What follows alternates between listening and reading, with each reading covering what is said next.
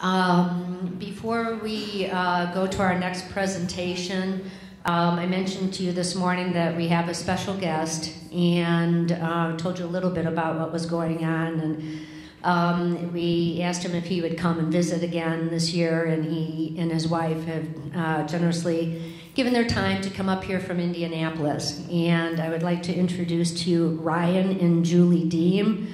Uh, Ryan, former right tackle for the Indianapolis Colts. So, Ryan and Julie. Thank you. Thank you, Pat. Thank you guys so much for having us and uh, letting us take a, a, brief moment of this very important uh, weekend. Um, so, yeah, like Pat said, we've been helping out with CNCF uh, for, gosh, 10 years now. Um, 10 years ago, Julie and I were looking for a cause to kind of rally behind um, and, and, use our platform to, to help promote the cause and, and, grow the cause and raise funds for the cause. And this um, particular cause kind of found us through Pat and uh, my high school football coach. She reached out through him. I came to the uh, very first golf outing that uh, was hosted by the Juicin family that was for their friends. Um, the event is called the Alley and Friends Golf Classic.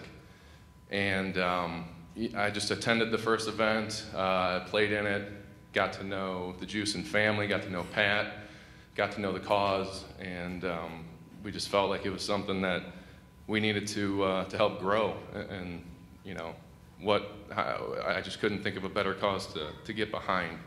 So over the years, we've done some good stuff. Um, in our first nine years, we raised a million dollars, and all of that money.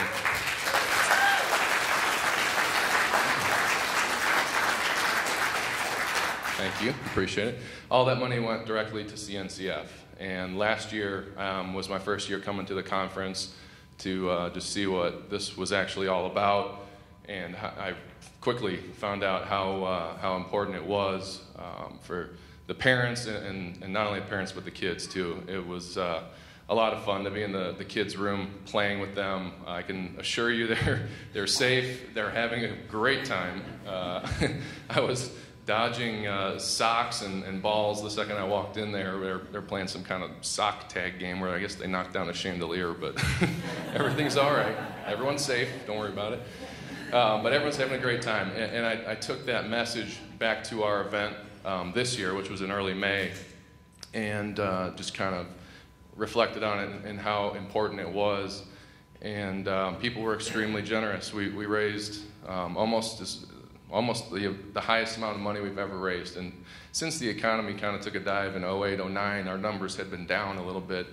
But um, I think you know things are starting to turn around, and, and, people saw the value and importance of a weekend like this and wanted to support it. And our um, Fund to Cure portion of the um, auction that we, you know, we do every year, basically people are bidding on just to donate.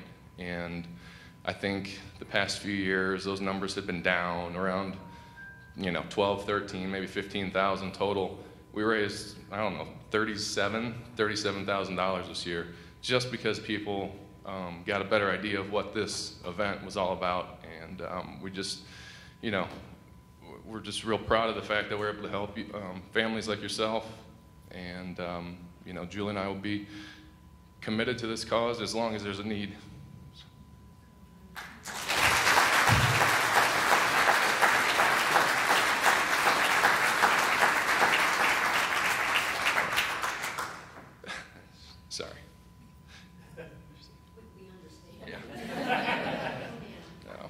God bless you all and your families. You're all in our prayers.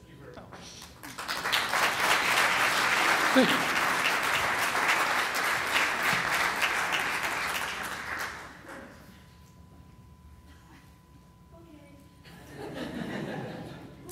Um, and, and, I thank Ryan and Julie and his entire family. His mom is here in the back there too. Um, they've reached out to um, business associates, um, Indianapolis Colts, uh, Dallas Clark, Peyton Manning, Coach Tony Dungy had been here. Uh, they've all participated in this golf outing. And um, we just can't thank them enough because, like I said, the money that was raised this past year, um, when we started getting the funds, we did the counter and we saw all the money piling up because it was silent, so we didn't know. All we did was see the numbers continuously grow and grow and grow and grow. And we just sat there with wide, eyes wide open, like, oh my God, we have $37,000 to put this conference on, because that was specifically for this. We raised net, we raised 120,000, and 37,000 of that was just for all of you to be here. So I just want to thank Ryan and Julie very, very much for their continued support.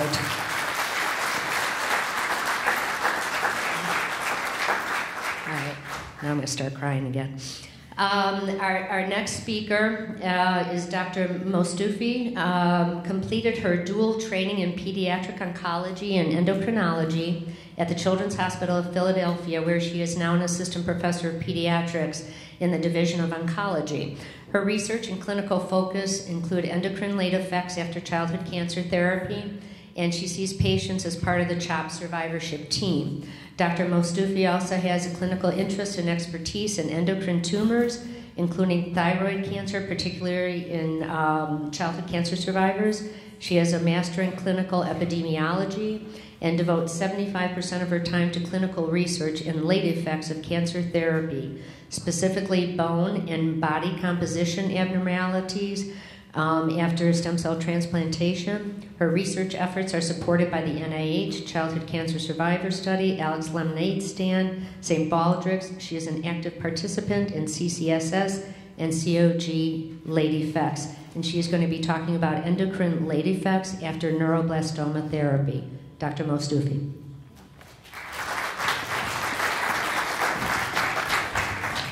I hope I can get this set up and uh, technology-wise I can turn things on. So I think of myself as a hybrid, you know, someone who has done both oncology and endocrinology, and really my passion is pediatric oncology.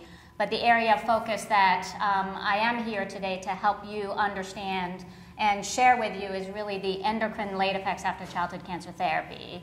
Um, what I want to make sure that we all understand is that this is a field that still is in its infancy, particularly with respect to high risk neuroblastoma survivors, given that in the last decade or so we have done tremendous strides in terms of having more survivors join the rank of survivorship, and some of the endocrine late effects, even though they are the hallmark of uh, the issues that I have to address in clinic, are not very well characterized. So I am hoping that as the years come, we as a group, not only within the Children's Oncology Group, but overall can come together and establish more objective studies really to not only characterize, but more importantly, start addressing a lot of these endocrine late effects that we see in our high-risk survivors. So with this, what I'd like to actually start off with is an important study that was published in the Journal of Clinical Oncology. And, and really what I want to highlight is that when you look at survivors of childhood cancer therapy and compare them to their siblings and look at sort of overall different uh, conditions that you can see and with respect to the grades of those conditions. Um, in general, childhood cancer survivors have six-fold, almost six-fold risk of having an endocrine problem. And really, what's more um, significant is actually if you look at the higher grades of toxicity, so grade three and four, so the really more worrisome related side effects within that endocrine system, actually, again, it's up to sixfold higher. And like anytime I meet a family from a you know survivorship standpoint in my clinic, I typically say it's almost unheard of to successfully make it through childhood cancer therapy and not have the need to see an endocrinologist. So overall, it is actually one of the number one morbidities that I have to address. Um, it can only be one of the endocrine systems. It can be more than one, but in general, it is something that uh, we typically have to provide our services. So what I'm going to outline this talk, I'm going to give you brief overviews. Some of these, we have a lot more information. Some of this I can just give you kind of a, what we think is the uh, significant problems and hope to find out more about that in the future. But I will start with growth because I personally, not the fact that I'm the tiniest probably person here in this room, but I think that growth is actually a significant problem in our survivors. And I'd like to actually highlight that. Uh, some of the challenges that we see. I would like to talk about thyroid related problems, some of the issues that happen not only around the time of therapy, but more importantly in long term survivors, particularly survivors who are of the era who received total body radiation I will touch base on puberty problems, gonadal function overall. Um, I'm not going to go into fertility preservation in detail because I think that in and of itself is a topic that requires uh, hours of discussion. And then briefly touch base on other um, problems such as diabetes mellitus, insulin resistance, and bone health. I think these last two areas are areas that really require a lot of attention in our survivors. So there's no other fundamental topic other than growth in pediatrics. So I think pediatrics is a time that um, you need to not only build your bones, but more importantly, from a growth standpoint, your need for coordinated action of not only growth hormone production, but also just sort of rallying the sex hormones of the puberty and just sort of all the building blocks. So there is no doubt that uh, challenges with childhood cancer therapy can significantly impact that. So regardless of the childhood cancer diagnosis in general, when you have a successful survivor that you're meeting in clinic, I usually highlight the fact that it's very difficult to make it through a long term treatment regimen without having some sort of a growth effect. And what that can be seen is usually, and I think as parents you can probably agree with me that survivors typically are um, shorter than their siblings. So it's very difficult to actually meet your genetic potential, particularly with some of the regimens that we have to introduce to treat the cancer successfully. And there's a lot of contributing factors. So, you know, the actual disease itself, depending on what the disease is and sort of what areas of the body it affects, sometimes it can be directly contributing from the disease itself um, the nutritional aspect that comes with cancer therapy. So you can have all the appropriate hormones in the world, but if you don't get your building blocks from a nutritional standpoint, that can have uh, a negative impact as the child is going through cancer therapy that sometimes is difficult to really catch up with that afterwards. And then the regimens that we use. So there is no doubt that a developing skeleton and just sort of overall a growing child is a significant risk for having a negative impact with respect to the high doses of the chemotherapeutic regimens we use. Obviously, neuroblastoma is not a regimen where steroids that are the backbone part of that therapy. Um, for example, leukemia tends to be more of a challenge where we have to also use a lot of steroids, and those all significantly um, have negative impacts on growth. But then, not to forget spine radiation. So, a lot of our patients, a lot of our neuroblastoma patients, we have to give radiation to the primary site, and obviously the adrenals and the um, radiation exposure to the spine can certainly negatively impact the growth. And then after that, you can have the other endocrine pro- problems that just sort of superimpose. So, your thyroid hormone is important to help you with growth, so you can develop problems with the thyroid gland. Sometimes, from a puberty standpoint, things can happen either on the early side, which is not very helpful when it's, uh, you know, with respect to growth related problems, or on the flip side, you can have actually problems with going through puberty because of the damage to the gonads, which are the organs that have to make your puberty hormones, and those all can really impact in terms of sort of the coordinated effort that's required for appropriate growth.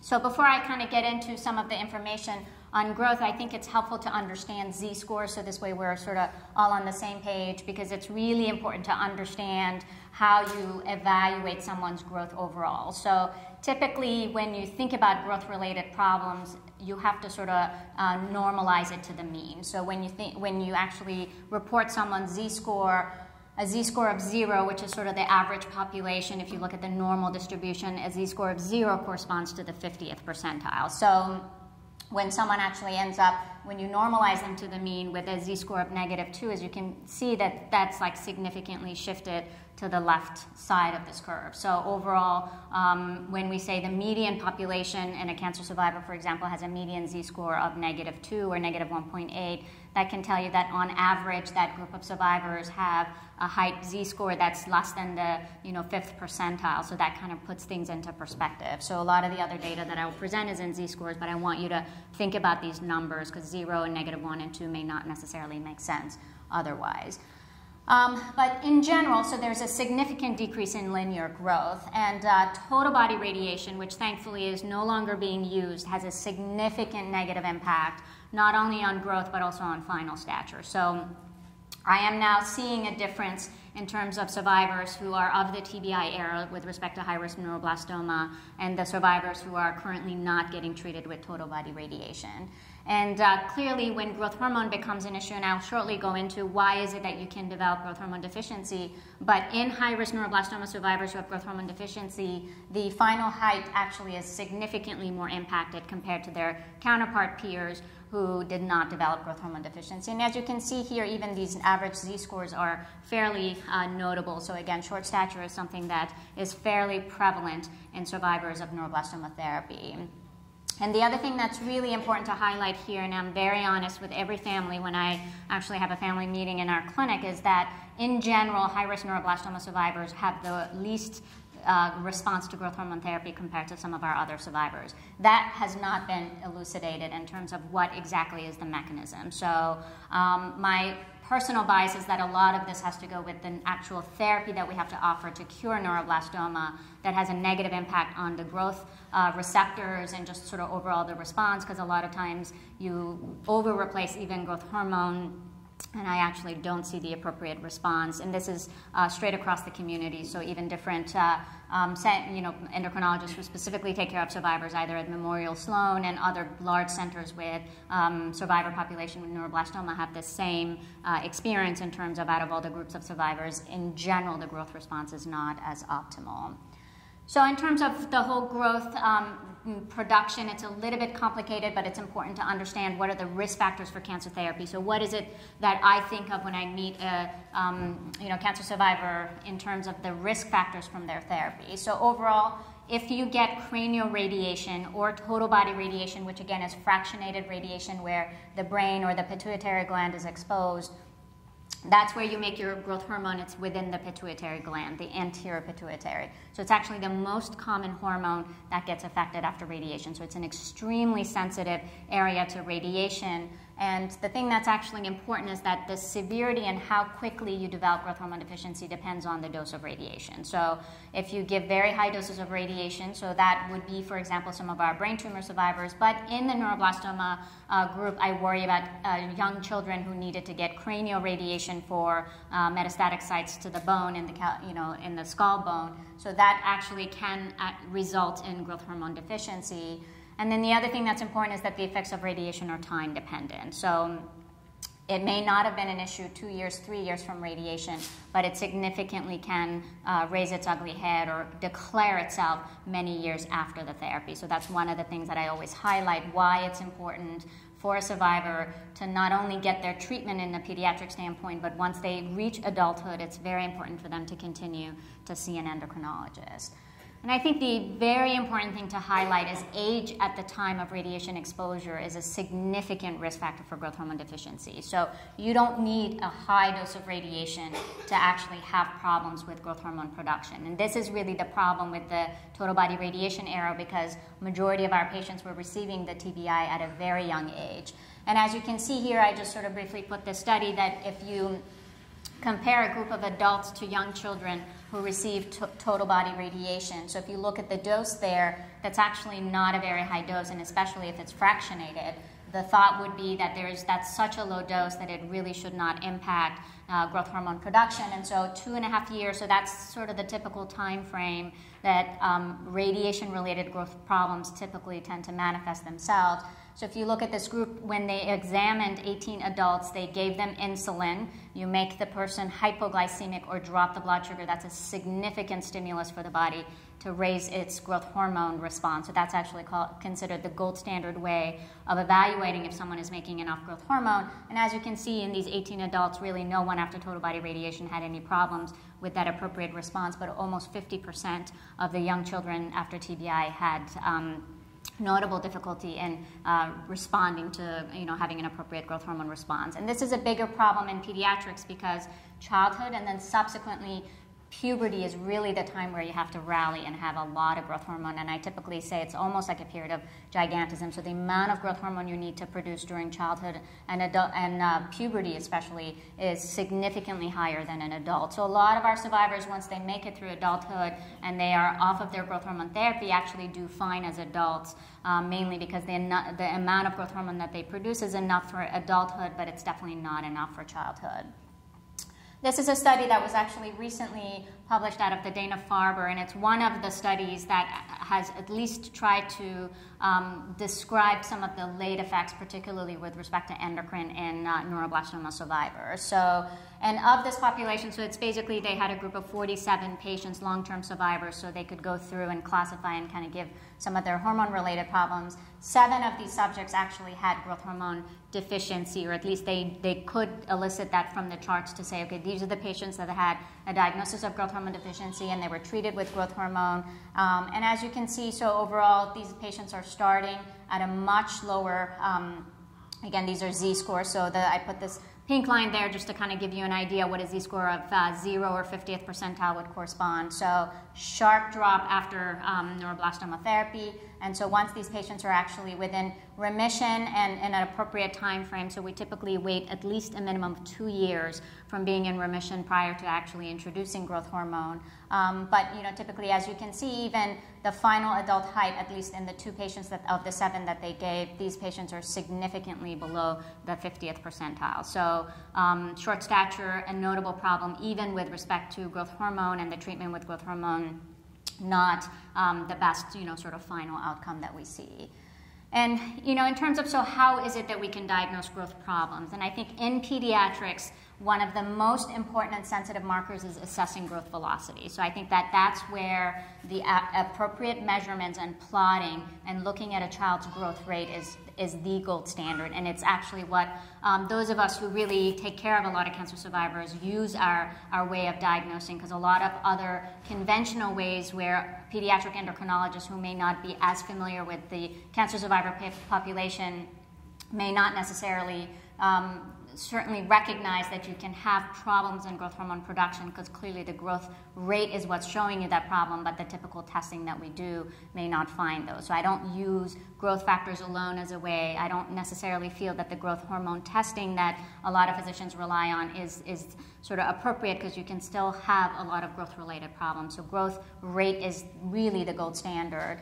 And one thing to so during cancer therapy, it's very difficult to have a good growth rate. So clearly, the body is going to prioritize the nutritional problems. Just the cancer therapy itself is anti-growth in general, but overall, kids should recover. So, and what I look at, so when I'm seeing a survivor two to three years after their high-risk therapy, if they're continuing to fall off the growth chart, that to me is a big red flag. So in, in pediatrics overall how kids grow they're very faithful to their growth chart. So you kind of pick that line and a lot of times that line there's a lot of things that goes into it but your genetic potential plays a big role. So sort of the genes that come from mom and dad and the grandparents everything that gets shuffled but sort of that genetic potential you sort of stay on that curve and you should stay on that line. You should not start falling off that line. Anytime a child is falling off the line, you really need to discuss or look into that further to see is it because nutrition is a problem, they're losing a lot of weight. You can have all the growth hormone in the world,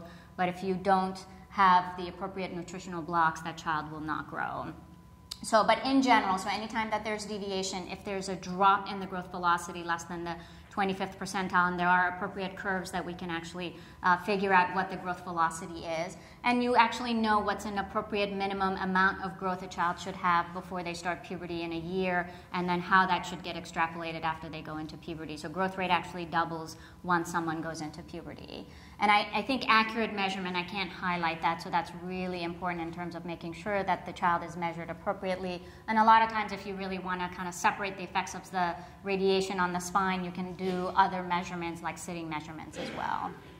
So the other thing I wanted to um, at least highlight is because this is something that when I see patients for second opinion, there are children who were obviously noted to have growth hormone deficiency after cancer therapy. Um, but some endocrinologists who may not be as familiar with the literature have counseled families away from starting growth hormone because what they focus on is say, you know what, if we give growth hormone, the cancer is going to come back. And that's something I really want to highlight that yes, growth hormone can make things grow, but there's currently nothing in the literature that actually supports treating a child's growth hormone deficiency that's secondary to the radiation effect. Once that child is proven that they're in appropriate remission time frame, that's going to basically treatment with growth hormone is going to cause the recurrence of the primary tumor and i will show you some literature on that but i that's a very important message that i want to make sure because i've seen some children who i um, was a little bit dismayed in terms of some of the years of therapy that would have benefited and was not offered. And this is just education in the community. But I think as advocates,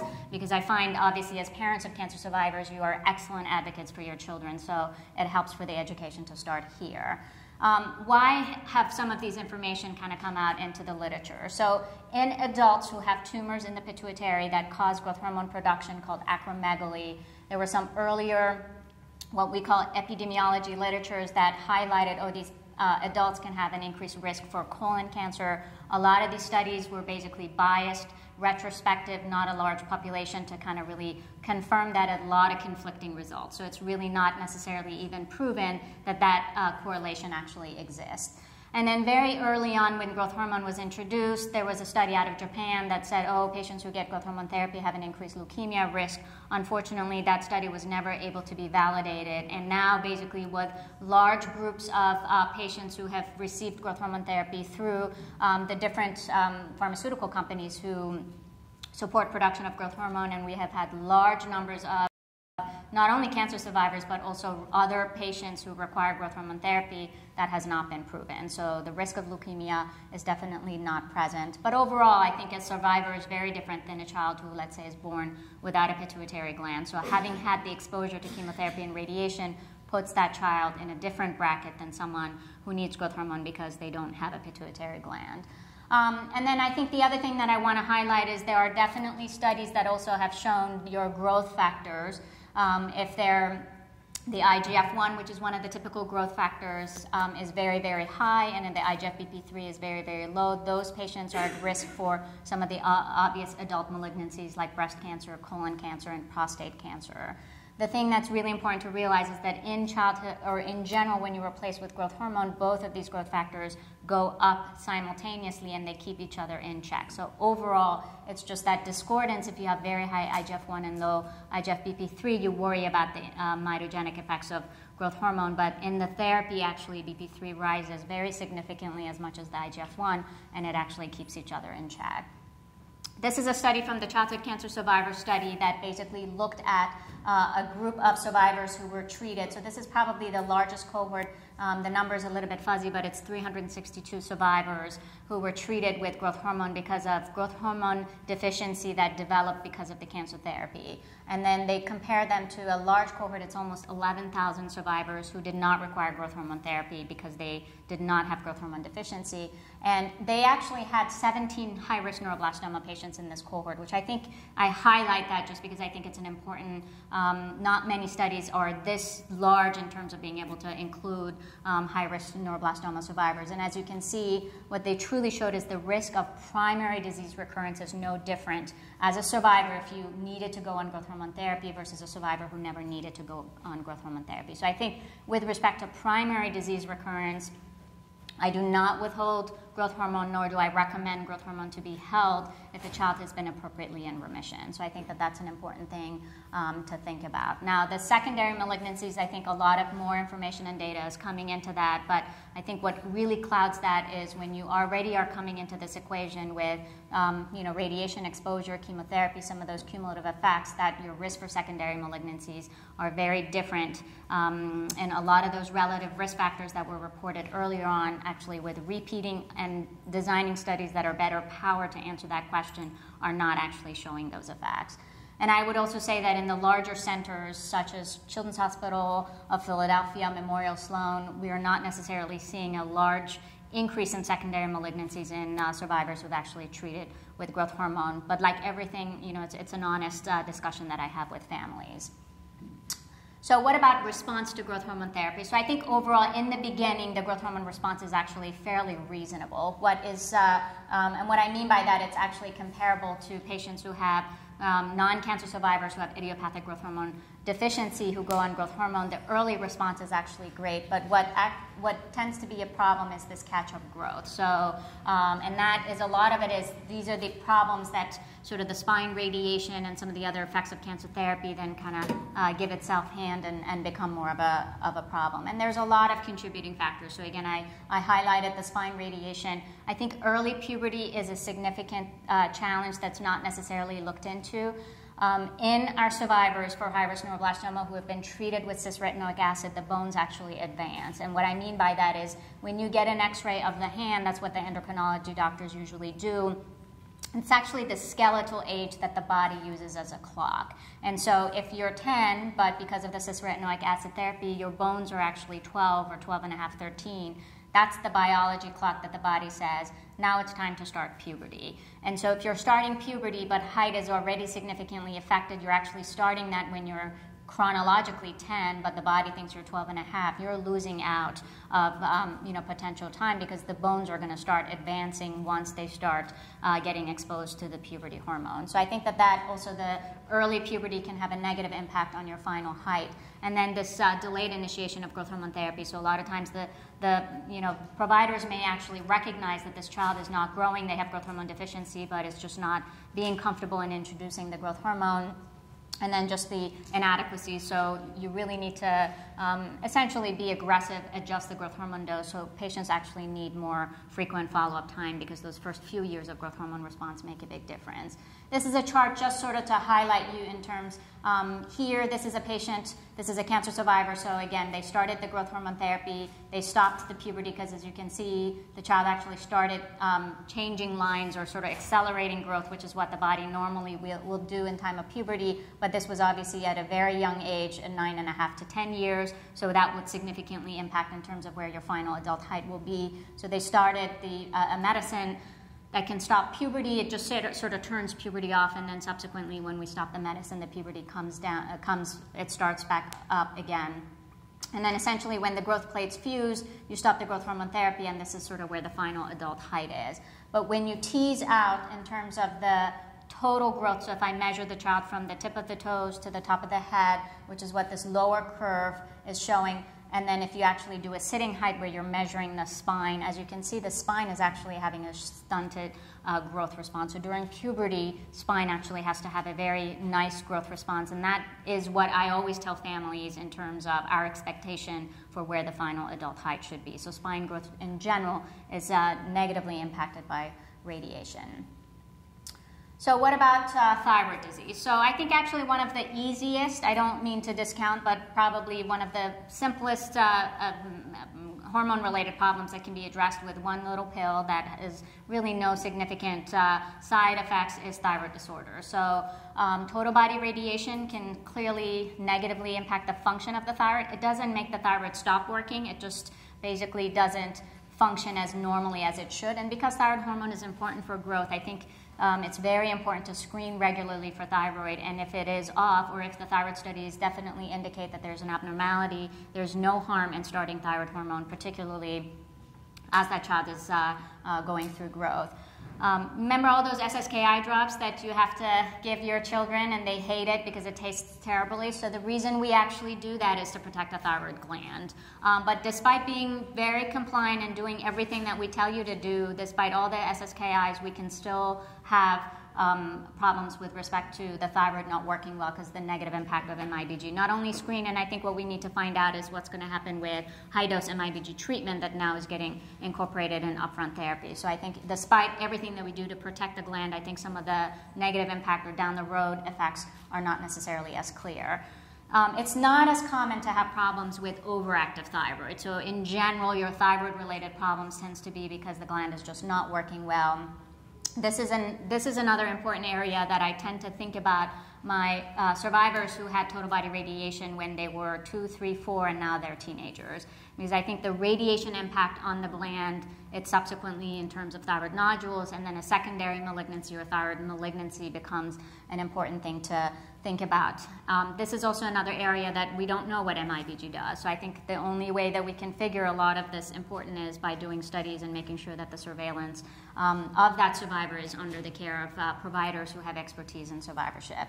And this slide actually highlights in terms of when you get um, radiation. So this would probably be obviously a patient if uh, you had your primary disease in the chest that required radiation therapy. So the higher the dose of the radiation, the higher the probability of developing an underactive thyroid. It is time dependent, but in general, within the first five years Um, female sex in some of the studies has um, been recognized. So if you're a female and you get radiation, higher risk for developing a non-directive thyroid. I think overall it's just basically the higher dose of radiation, um, much higher risk for essentially developing an underactive thyroid. Um, but it is something I screen regularly, at least annually, if I see a patient or if there are more complicated other issues that I'm looking at every six months. It's a fairly simple laboratory evaluation in terms of being able to diagnose an underactive thyroid.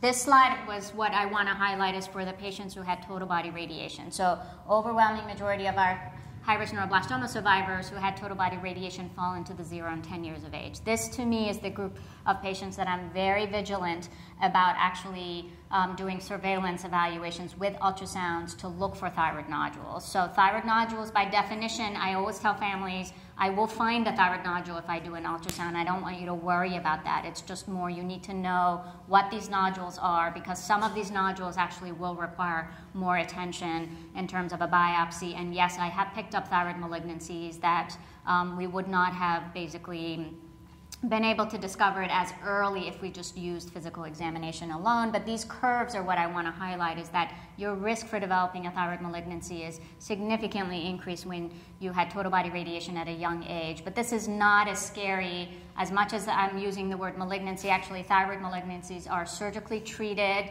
There's no chemotherapy that goes with that, and you know you just basically go back on your thyroid replacement. Some patients actually may need to just have the surgery or radioactive iodine afterwards. But overall, I think that this is an important part of what I counsel all my survivors who are now teenagers and about to become adults in terms of transitioning to adult care, because these are the patients that we really need to make sure that someone's paying attention uh, to their thyroid gland. What kinds of thyroid do we see? So in general, after radiation exposure, it's the same common type of thyroid cancer. Papillary thyroid carcinoma is the overwhelming most common type of thyroid cancer that we see. So you can either present with an asymptomatic lump that happens in the neck, but that actually is not a common way for um, high-risk neuroblastoma survivors that we have diagnosed with nodules or thyroid malignancies. They actually have very small thyroid glands, and so it's usually by routine ultrasound um, because palpation alone is not the best modality, or sometimes in non-thyroid related imaging. So whether it's the uh, surveillance scans, things can get picked up. You're not going to get your thyroid secondary malignancies two years after your um, you know, neuroblastoma therapy. It's usually there's a sort of lag time, at least a minimum period. The earliest survivors that have found nodules are within four to five years, um, but overwhelming majority of survivors that have diagnosed with malignant thyroid nodules that require treatment are typically you know, they're all teenagers who were exposed to total body radiation when they were young. Again, I don't know what MIBG, high risk MIBG therapy will do, but those are all the important things in terms of kind of follow up surveillance. And this is another slide to just really show why ultrasound is helpful. It's a sensitive modality, it does not introduce radiation, but it's the best way in terms of picking up rather than relying on physical exam. So I know that the Children's Oncology Group has not been a big proponent in terms of using ultrasound for evaluation, and rightly because there is no nothing worse than actually scaring a parent by telling them your kid has a bump or a nodule in their gland. So if you recommend a screening evaluation, you should know as the physician how to handle the results. So, so that's where I am a big proponent of making sure that the screening actually happens in the hands of people who actually know what to do with the results, can reassure you and tell you this nodule really is not that worrisome. We don't. We just have to keep an eye on it. Versus I just need to get a biopsy and not necessarily refer everyone that you see with a nodule for biopsy and put you through as parents and also the child through unnecessary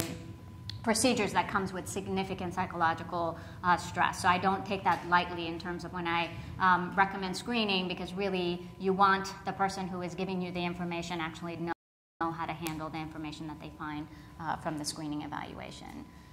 So how about puberty? Um, I think overall, just to sort of the hormones of puberty, even though it's every parent's nightmare when their child goes through puberty and the moodiness, doc, what's going on with my child and the moodiness. But, you know, it is a normal process um, that uh, kind of will happen. And um, in terms of sort of how the process happens, so in your brain, you have an area called the hypothalamus that sends signals. So that's the GnRH to the anterior pituitary. These are the signals called LH and FSH, so these are the gonadotropins that will talk to the respective organs or the um, ovaries in females to make estrogen and progesterone, and then the uh, testes in males to make um, you know, testosterone, and then importantly to make sperm. So overall, in high-risk neuroblastoma therapy, where the problem can happen if puberty is an issue um, or the gonadal damage is typically at the site of the gonads, it's not um, really related to the signal production. So patients who had a brain tumor, that can be a problem with actually the gonads being okay, but the signals not being there. But overwhelming majority of patients after neuroblastoma therapy, if they're having issues to go through puberty or gonad-related problems, is because the therapy directly damages the um, the gonad. So overall, for boys. Uh, for, testi- for those with obviously boys who have to go through puberty, what the testicle needs to do is two separate things. So you need to make testosterone, that's done by cells called Leydig cells. And then you need to make sperm, and that's called, uh, those cells are called Sertoli cells. So majority of boys will go through puberty fine because the Leydig cells are pretty resistant. They will get affected by alkylating uh, chemotherapeutic regimens, so cyclophosphamide, but that's dose dependent. But even most of um, my patients with high-risk neuroblastoma therapy who had high doses of alkylators actually can go through puberty. It's what happens sort of late um, adolescence, early adulthood that they just don't fully masculinize, and that can be a reason to have to supplement or then give them testosterone. But overall, early on, boys really have no problems in terms of starting testosterone and going through puberty. Um, if you directly radiate the testes, this is more of uh, an issue for children who had leukemia relapse in their testes. So neuroblastoma in generally does not involve the testes in a male, so that becomes a problem for actually making testosterone.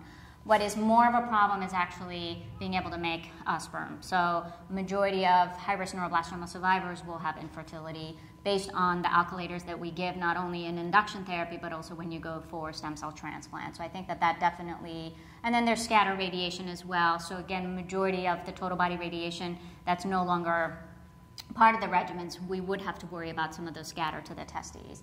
I think for ovaries, that's a bigger challenge. So, um, overwhelming majority of females with high-risk neuroblastoma therapy will demonstrate on blood work evaluation or chemical damage to the ovaries. And that's what I tell every family. When I send the blood work, I can tell you that there will be documentation. I can find that the ovaries are unhappy after the therapy.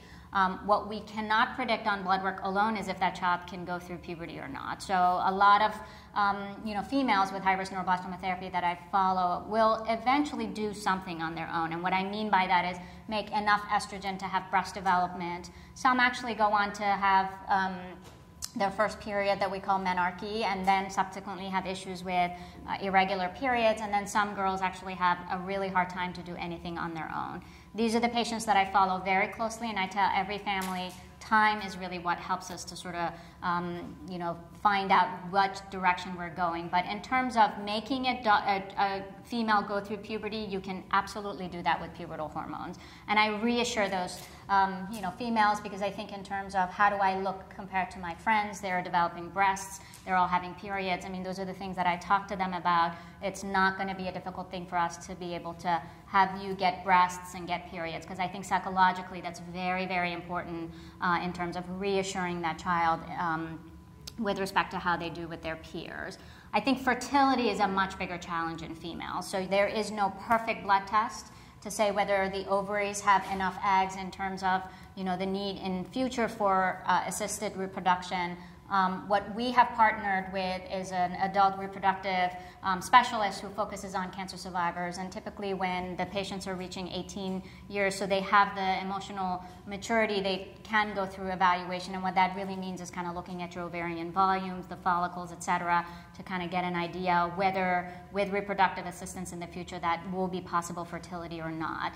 In terms of preservation of fertility at the time of diagnosis, that is still completely research. So there are no protocols that at least can offer um, guaranteed harvesting of eggs and basically, um, you know, preserving them in terms of future uh, fertility. But today, in 2014, we're even much more ahead than you know we were even in 2000 or um, in the decade of 90s. And so it is my hope, and I think that that's the most important area that we really need to focus our group in terms of being able to offer you as parents, not only in the beginning all the important information with respect to cancer therapy, but to offer you, um, especially in a child who has not gone through puberty, a means to basically preserve um, preserve the fertility.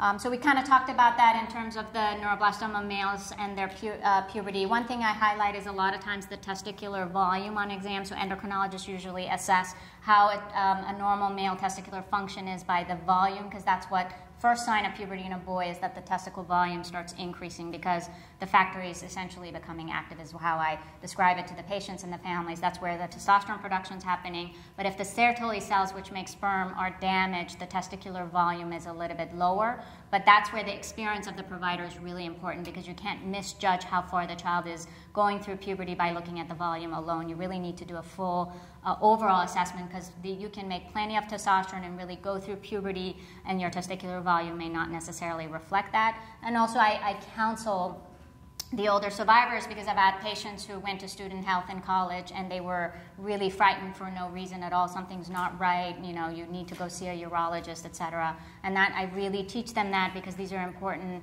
Um, advocate that how they can advocate for themselves and not necessarily feel that there's a significant problem, but just understanding that this is a um, you know sort of a sequelae of the therapy that really cannot be um, essentially mm, it's irreversible. But there are other ways in terms of how can you exactly prove that an adolescent male now after puberty is truly infertile. I think sperm analysis is still the gold standard. There are chemical ways of evaluating. So inhibin b is a protein that's made by the sertoli cell and there's been some correlation studies looking at inhibin B and the testicular volume and kind of giving you an indication. But I think the regimens that we use with high-risk neuroblastoma therapy in general, um, uh, unfortunately, infertility in boys is, uh, isn't accepted or, you know, in terms of one of the side effects that we see. And then the um, Leydig cells that we talked about, so if there is radiation to the testes, clearly the Leydig cell function may not only be an issue in terms of going through puberty, so those males will need testosterone, but also down the road. Um, and then in terms of the ovarian failure, so I think the young females who have not gone through puberty yet, like the uh, premature, that, that ovary is actually more resistant to the complete damage or failure to therapy. So I worry about the teenager who goes through stem cell transplant. Um, that patient, unfortunately, will not even have a um, recovery of their normal ovarian function. It's just the younger girls will have damage, but a lot of times those ovaries are still functional. So I think that that's important. But the, what is the other counterpart is that overall your lifespan for the ovaries will be shorter, meaning that they, these even um, survivors who are able to go through puberty and they start having periods will have premature menopause. So these are patients who will uh, um, is, lose their ovarian function or actually have cessation of ovarian function in their late 20s or 30s. So, and this is another study that actually highlighted the effects of um, age. So the, uh, the darker bars are 0 to uh, 12, and then the light um, unfilled bars are 13 to 20 years. So these females, basically, as you go and increase the dose of radiation, so really when you have a high dose of radiation to the abdomen and if the ovaries are involved, it, it doesn't matter if you're very young or not. But the younger you are in the lower doses of radiation, it does still make a difference in terms of the younger ovaries are still a little bit more resistant. This is important for high-risk neuroblastoma therapy again because we do have to radiate the primary site, and depending on sort of where all the areas that are involved, the ovaries can definitely be in the field of radiation. So the next area I want to highlight is a new um, uh, area, and that's I'm going to finish soon, is the diabetes mellitus because it's starting to become some a problem on our radar, and we don't really understand exactly what it is. But I think overall, with respect to how survivors do with body uh, composition and just sort of obesity, neuroblastoma survivors are not in that category. So, in general, um, the challenges of obesity are with some other cancers during childhood, like leukemia, but overall, neuroblastoma survivors are not obese. But the challenge we see is the insulin resistance and early diabetes in some of these patients.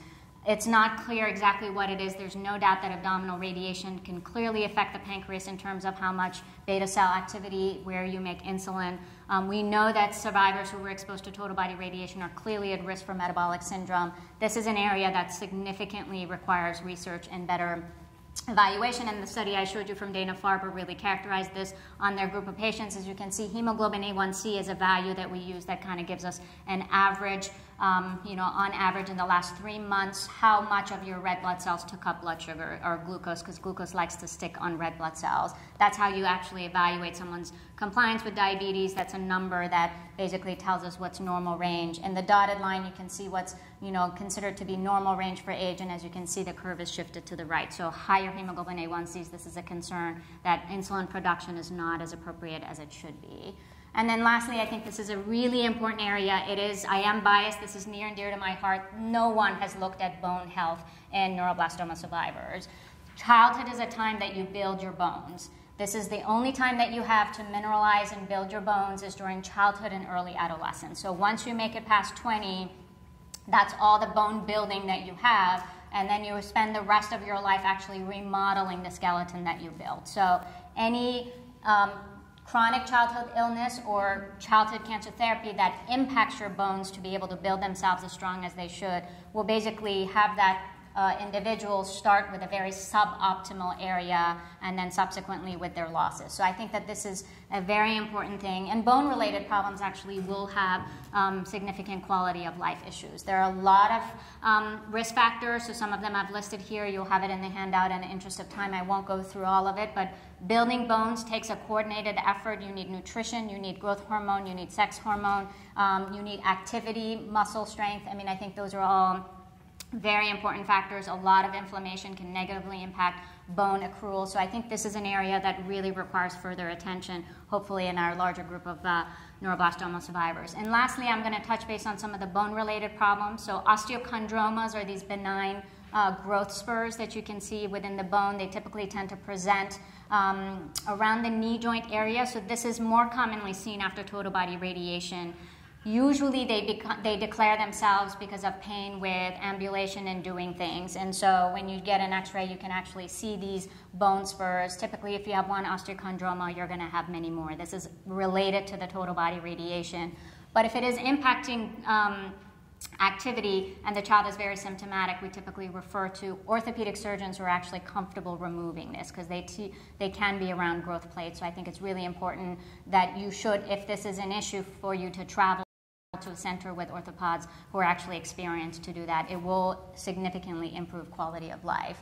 Um, I briefly touched base on the bone age advancement that happens after cisretinoic acid. This is also another important challenge that, as an endocrinologist, we face. And then the other thing that I always highlight is this uh, condition called slipped capital femoral epiphysis. And this, again, we see in patients who had total body radiation at a very young age. And in our group at CHOP, the neuroblastoma survivors after TBI have the highest risk for developing this condition, and it's basically the, um, the femur or the head of the hip joint actually slips out of its socket. It's not painful. You would think that that would be a very painful condition, but typically what it presents is a painless limp that just sort of doesn't make sense. You can pick it up on x ray um, radiologists and orthopedic surgeons who are well versed into how to examine or how to pick this up on x-ray because it's not the typical type of SCFE that um, happens in non-cancer survivors. And again, in our institution, we saw a significant higher rate than what's reported in the normal population. And really what that is is total body radiation to the developing skeleton and the pelvis. So, and the, the leading list, again, is because the age at which these patients are getting uh, total body radiation. So with this, I hope this was at least informative. My, my goal really was not to scare you, but really to provide you with the information. This is why endocrinology should be an, an important part of survivorship care for your uh, children. Um, the risk factors that I worry about in a young child is radiation exposure, the multimodality intense uh, therapy, and some of these endocrine problems can evolve over time, so it's not just a one time thing, but that's why you need to have an established role with a provider early recognition is certainly key, and what we really need is future long-term uh, studies that not only looks at these issues and better characterizes them, but kind of looks at them longitudinally and really um, start developing and thinking about ways that we can not only offer therapy, but also how we can prevent that. So with that, I'd like to actually thank you and say that when it comes to neuroblastoma and any childhood cancer, we need to think outside the box, and certainly from a hormonal standpoint, I consider hormones our friends, and so if they don't work, they can make your life miserable, but certainly I'm here to sort of help and put that back in the box. So if there's any questions, I'm happy to answer, but if I've gone over time, I'm happy to address those uh, questions afterwards. Thank you, Dr. Mostouffi. We have a question there? do I have time to answer any Yeah, questions? yeah, we'll, we'll do a couple of questions. Um, I know you um, discussed uh, Oh, chronological. turn the mic on, is it off? Oh, okay. Sorry, can you hear me now? It's pretty light. Can you hear know me you now? discussed chronological age versus um, actual, I mean, bone Bone. versus chronolo- chronological age. My question is, um, it was, chronological age was 10 and the bone age was 14. What happens if that's reversed? Does that mean you actually have more time to actually treat the patient? Yeah, so I usually tell families a delayed bone age is a bonus. So, because that means you have a longer time from a growth standpoint.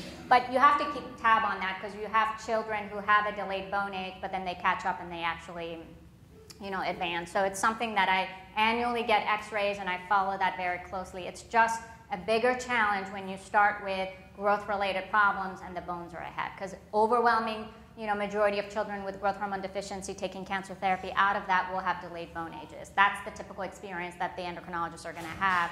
But this is unique in neuroblastoma with the cisretinoic acid therapy that, you know, sometimes I've had as high as four years of bone age advancement. That's actually pretty significant advancement. One and a half to two years, I just tell families we're going to follow.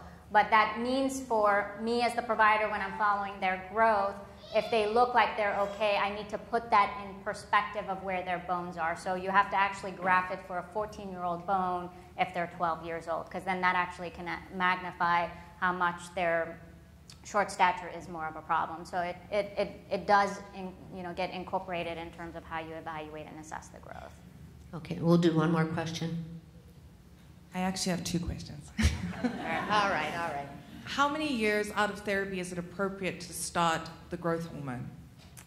to when to start growth hormone. Right. So I think that's a fluid dialogue. So I mean, I think you know, I definitely am starting to have referrals from my colleagues on patients with relapse refractory who went on phase one therapy, but now the disease has uh, gone into remission. So I would say six years, ten years ago, no one would even consider growth hormone therapy in those patients. But I typically tell families, you know, a good two years of remission or no active growth because majority of tumor, the way the biology is, that's when most of the activity of the tumor is going to happen. There's nothing magical about two years, but I am not going to introduce growth hormone within, you know, three to six months coming off therapy, even if your scans show you're in remission. I usually like to have a wait period.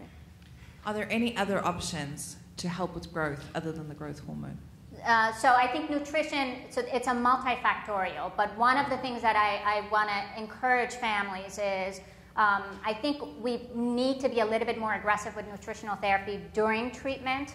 And I know it's difficult to think about an NG tube, but neuroblastoma therapy, especially for high risk neuroblastoma therapy, is very challenging. And so I think if we start thinking about the nutritional uh, enteral feeds just as important as the chemotherapy and the MIBG therapy overall, I think that that's going to be an important impact to sort of help all the negative effect that's happening on that we have to do. So I don't want to stand up here and kind of belittle my colleagues. I am one of the oncologists that I sit down and do family meetings when patients are diagnosed with high risk neuroblastoma. But I think those are the little things that we can do. But overall, I think the mechanism of growth related problems are unique to neuroblastoma that have not been elucidated as clearly as some of the other sort of, oh, it's radiation, they don't make enough growth hormone, give them growth hormone. I am still seeing growth related problems after TBI is no longer introduced. So, so I'm hoping that's certainly an area of interest, and I hope that everyone can kind of help elucidate that better because I think growth in short stature is, is an, an it's a significant problem in a lot of the patients that I see. Okay, one, one more. Uh, For growth hormones, the benefit in inches versus the um, risk, can you explain that, please? So I think it just depends on the child's uh, history, the cancer history therapy, and sort of what um, what is the problem. So if a child has was treated with high-risk neuroblastoma therapy, and now they, because of the cranial radiation or the total body radiation, they're clearly growth hormone deficient, but they have been in remission for over two years. That's a child that I would absolutely advocate. It's not about the inches. To me, growth is not an aesthetic problem. If this child is going to be significantly impacted where they can't drive, where they can't actually open the cabinets in the kitchen because they're so significantly short, because during uh, childhood and adolescence is really the time that you need to mobilize and have the most growth response. So I, I, don't use it as inch per se in terms of the risk factors, but I have an honest conversation with families the risk of primary disease recurrence is not supported by the studies. Um, what's important is as far as the risk of secondary malignancies, and if you as a family feel that if something were to happen, you're going to immediately go to the growth hormone and say it's the growth hormone that caused the secondary malignancy and I should have never given the growth hormone, then I tell the families you're not ready for growth hormone. You know, because we really have no studies that are proving that going on growth hormone therapy is going to increase risk of secondary malignancies, but at the same time, I cannot give you 100% um, you know, guarantee from that perspective. But our experience, um, also in the large centers that we see a lot of survivors, we do not see an increased uh, rate of secondary malignancies in children who deserve to be on growth hormone because they are growth hormone deficient. Um, and the other counterpart that I use is after cancer therapy, if a child has not developed growth hormone deficiency, we don't see an increased risk of you know, the disease recurrence. We don't actually have someone go in and remove the pituitary because they're making growth hormone. So that's sort of the counter argument that I use is if a child develops growth hormone deficiency because of the treatment that we had to give to make the cancer go away, it's really important to consider treating that child and giving them their hormone back. So, so that's just sort of, but it's a one-to-one, and I work that risk with each family because every family comes to the table very different in terms of what's, what's acceptable to them and what's not. All right, we're going to have another question for you, but I know I think Kate has to catch a flight uh, pretty soon, so we'll we'll do Kate's presentation. Then we're going to come back to you. We've got a question for you. Okay, Okay. not a problem. Thank you.